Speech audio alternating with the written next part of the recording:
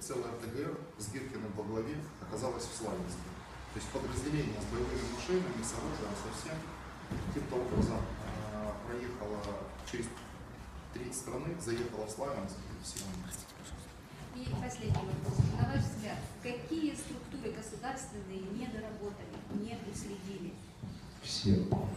Спасибо. На первый вопрос отвечать? Да. Ну, я как издатель Александр Сурков, мы, собственно, издатель этой книги, проект Сурков Память.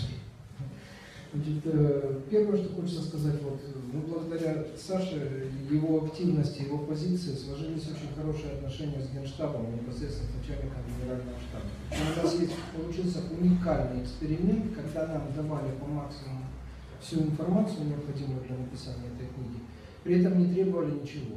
То есть э, Муженко лично эту книгу э, взял в руки, когда она уже была напечатана и стал читать. То есть э, такой вариант ну, нас более чем устроил, потому что книга не является там, послаблением Генштаба ни в коем случае, военных.